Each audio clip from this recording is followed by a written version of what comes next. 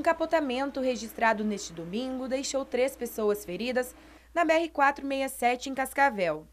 A condutora do HB20 seguia na rodovia quando acabou perdendo o controle da direção, capotou por várias vezes. O carro parou na canaleta que divide as pistas.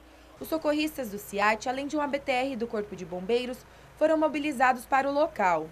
A mulher de 57 anos teve contusões nas costelas e foi encaminhada à UPA Brasília. Já a mulher de 34 anos e um bebê de aproximadamente seis meses, que não apresentava ferimentos, foram encaminhados à UPA Veneza.